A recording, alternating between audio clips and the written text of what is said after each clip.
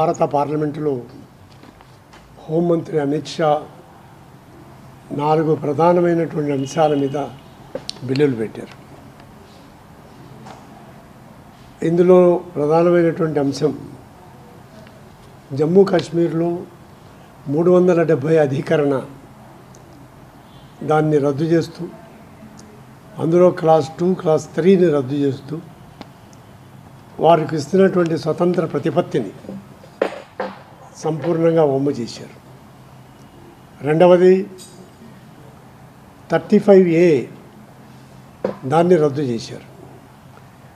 మూడు వందల డెబ్బై అధికరణ ప్రకారం కాశ్మీర్కు ఒక స్వతంత్ర ప్రతిపత్తి ఉంటుంది. ఈ ప్రతిపత్తి ఉండాలని భారత రాజ్యాంగంలో పొందుపరచబడి ఉంది. కమ్యూనికేషన్సు డిఫెన్సు ఎక్స్టర్నల్ అఫైర్స్ ఇవి కేంద్ర ప్రభుత్వం చూడాలని మిగిలినటువంటి అంశాలు రాష్ట్ర ప్రభుత్వ పరిధిలో ఉంటాయని article three seventy clause two clause three చెబుతున్నాయి. అలాగే థర్టీ ఫైవ్ ఏ ప్రకారం కాశ్మీర్లో పుట్టి పెరిగినటువంటి వారికి మాత్రమే కాశ్మీరులో ఉద్యోగాలు చేసే హక్కు కాశ్మీర్లో ఆస్తి హక్కు ఉంటాయి. ఇతరులకు ఈ హక్కు ఉండదు. ఈ రకమైనటువంటి శాసనం వాస్తవానికి పంతొమ్మిది వందల ముప్పై ఐదు ముప్పై ఆరులో మహారాజా హరిసింగ్ తీసుకొచ్చారు. కాశ్మీర్ చాలా సుందరమైన ప్రాంతం కానీ చాలా పేద రాష్ట్రం. ఆనాడు భూ కేంద్రీకరణ తీవ్రంగా ఉండేది. ప్రజలు దుర్భరమైన దారిద్ర్యంలో ఉండేవారు.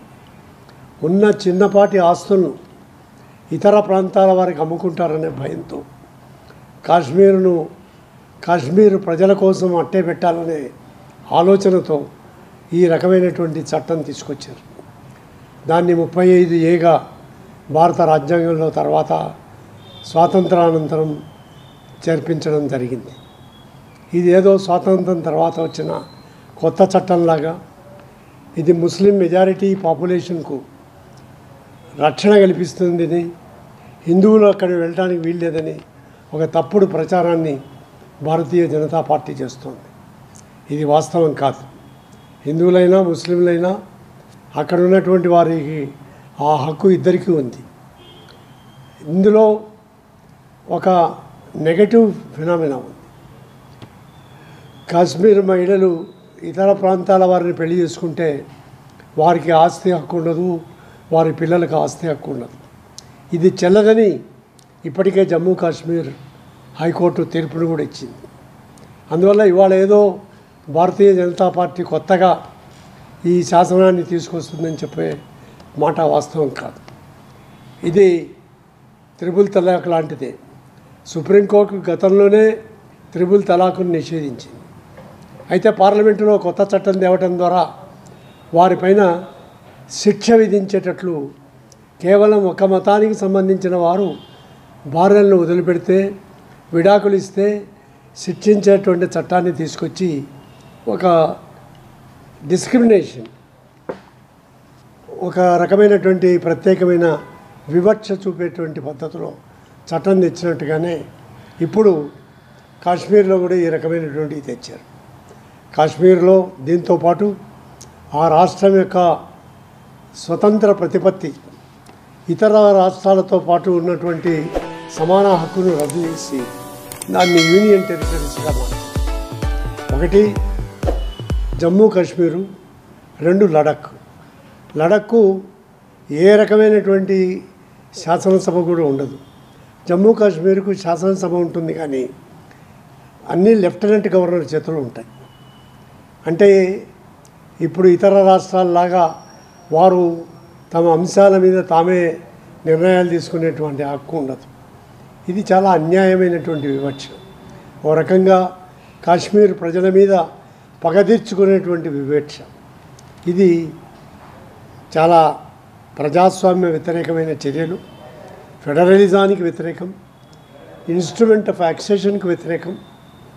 ఇవన్నీ ఈ రకమైనటువంటి పద్ధతుల్లో తీసుకురావడానికి కాశ్మీర్ ప్రజల్లో మద్దతు ఉండదనేది ప్రభుత్వానికి తెలుసు.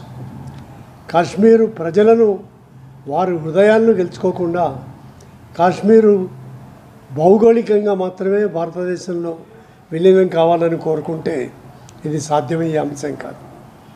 ప్రజల్లో సంతృప్తిని ఉక్కుపాదంతో అణిచేయడానికి గాను పదుల వేల సంఖ్యలో సైన్యాన్ని తీసుకొచ్చి ముప్పై ఎనిమిది వేల అదనపు సెక్యూరిటీ ఫోర్సెస్ను కాశ్మీర్లో మోహరించి అమర్నాథ్ యాత్రను రద్దు చేసి అర్ధాంతరంగా రద్దు చేశారు.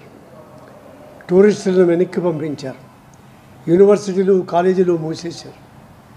వీటన్నింటినీ సైనిక బ్యారక్లుగా మార్చేశారు.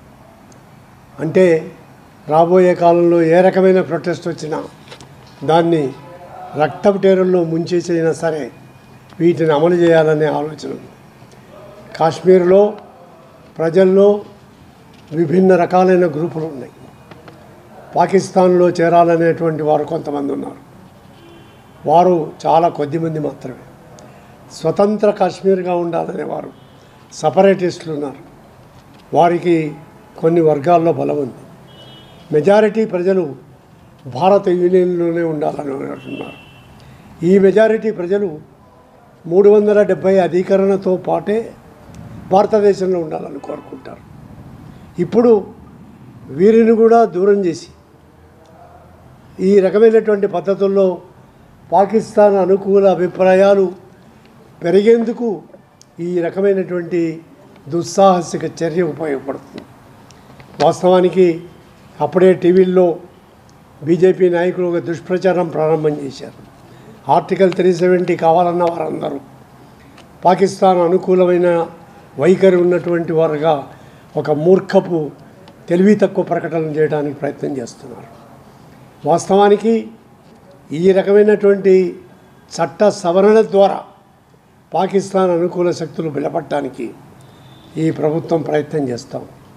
ఇది ప్రజాస్వామికానికి రాజ్యాంగానికి ఫెడరలిజానికి వ్యతిరేకం గనక ఇన్స్ట్రుమెంట్ ఆఫ్ యాక్సేషన్కి వ్యతిరేకం గనక భారత కమ్యూనిస్టు పార్టీ దీన్ని తీవ్రంగా వ్యతిరేకిస్తున్నది ఖండిస్తున్నది దీనిపైన పునరాలోచన చేయాలని డిమాండ్ చేస్తున్నది.